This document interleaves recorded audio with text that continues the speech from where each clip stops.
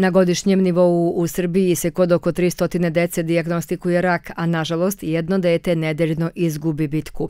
22-godišnja Anja Vujnović iz Vojke je na sreću pobedila u teškoj borbi sa tumorom na malom mozgu koji joj je diagnostikovan pre pet godina. Prvi simptomi, to jest znaci koje sam osjetila, jeste da pri učenju ili čitanju su mi se slova pomerala levo-desno, kao i te neke jutarnje mučnine. Posle toga smo eto, e, išli kod svih doktora, kod neurologa, kada sam odradila magnetnu rezonancu i tada se pokazalo da je e, e da imam tumor na malom mozgu. Pa smo onda kasnije išli e, na dijagnozu meduloblastoma, histopatološki je pokazao. E, onda poslije toga se osvestiš.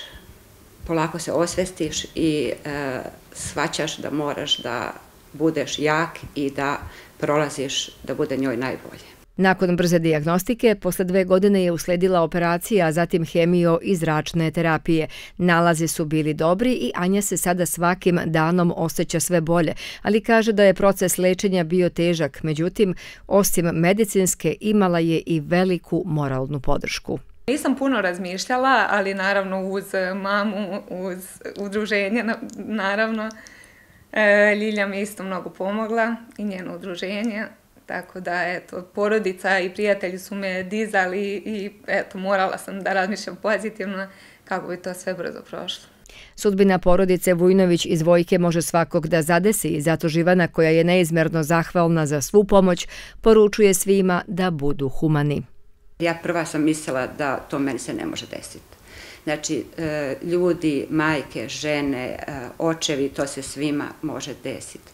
Osvrnite se, e, pogledajte svet, pomozite deci, uključite se kogod može da bude human, neka bude human.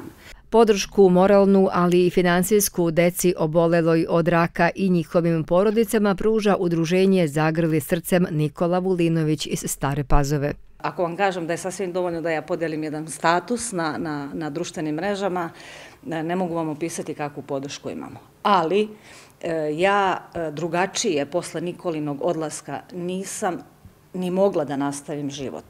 E, mi smo u toku naše borbe imali neverovatnu podršku od ljudi koji su nas znali i koji nas nisu znali.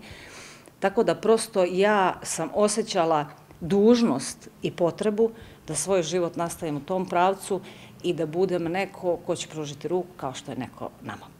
Gostujući u emisiji Kalendar zdravlja, doktorka Marija Rujanovski, specijalista pedijatrije iz Staropazovačkog doma zdravlja, rekla je da se maligno oboljenje danas brzo diagnostikuje, a kod dece uzrasta od druge do pete godine najčešće se javlja leukemija koja se relativno uspešno leči. Hirurgija je najstarija metoda koja je primenjivana u dečijoj e, hematoonkologiji što se tiče procedura lečenja. Ona se koristi od 1900. godine i ona je kod nekih lokalizovanih tumora zapravo kurativna, to je dovodi do izlečenja. Također je kurativna i kod tumora koji daju lokalne metastaze. Kada govorimo o tumorima koji su se raširili, odnosno dali neke sistemske metastaze, tu se najpre primenjuje hemioterapija, radioterapija, a zatim kada se taj tumor dovede u neke odgovarajuće dimenzije za mogućnost izvođenja hiruške procedure, tu nastupa znači, neki hiruški e, zahvat. U opštini Stara Pazova trenutno ima 12 dece koja su bolovala ili se trenutno leče od neke vrste maligniteta. Zahvaljujući najsavremenijim metodama lečenja, procenti izlečenja malignih oboljenja kod dece kreću se čak do 80 odsto.